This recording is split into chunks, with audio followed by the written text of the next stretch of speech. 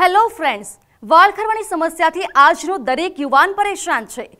આપના વાળ ખરે છે તો શું હોઈ શકે કારણો? વાળને સ્વસ્થ રાખવાની રીતો કઈ છે? સાથે જ વાળને ખરતા રોકવા માટે એવા કેટલાક ઉપચાર જે આપ નહીં જાણતા હોય. આ તમામ ઉપચાર હું આપને બતાવીશ. આ પૂરો વીડિયો જુઓ મારી સાથે.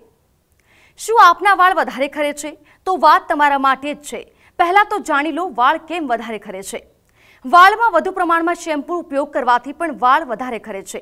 સાબુ કે તેલનો ઉપયોગ કરવાથી વાળ ખરે છે. કલર તેમજ સ્ટ્રેટનિંગથી પણ વાળ ખરતા હોય છે.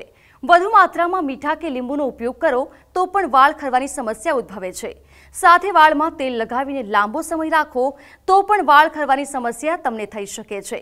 કેમ કે તેલ લગાવીને લાંબો સમય રાખવાથી ધૂળ, માટી અને રજકરણો વાળમાં ચોંટે છે અને તમારા વાળને નુકસાન થાય છે.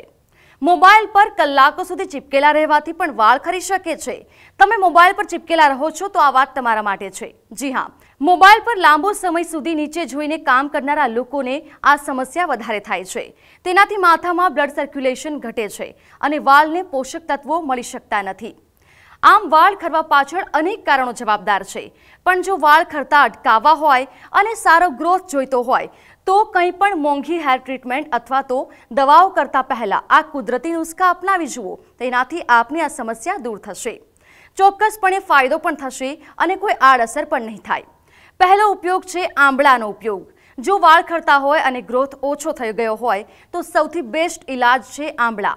કોકોનટ ઓઇલમાં સુકાયેલા આંબળાનો પાવડર નાખો અને તેલ કાળા રંગનું ન થઈ જાય, ત્યાં સુધી તેને ગરમ કરો.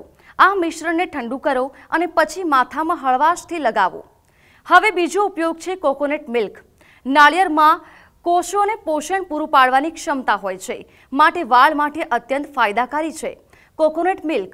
જેનો ઉપયોગ કરશો તો તમારા વાળને ખૂબ ફાયદો થશે. તાજા નાળિયેરની પેસ્ટને નીચોવીને કોકોનટ મિલ્ક કાઢી લો. અને હળવાશથી વાળમાં તેને લગાવો. પંદરથી વીસ મિનિટ વાળમાં રાખો, મસાજ પણ કરી શકો છો અને પછી વાળને ધોઈ નાખો. હવે વાત છે દહીં અને લીંબુનો ઉપયોગ. દહીં અને લીંબુ દરેકના ઘરમાં હોય છે.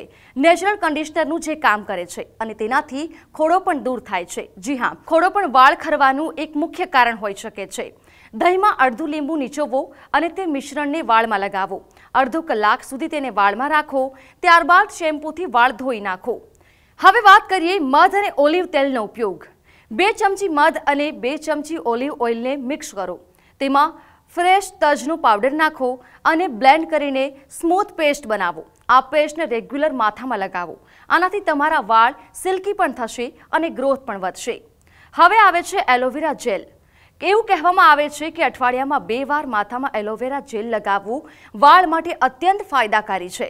એલોવેરાને બે ભાગમાં કાપીને તેના જ્યુસી પોર્શનને હળવેથી માથામાં ઘસો.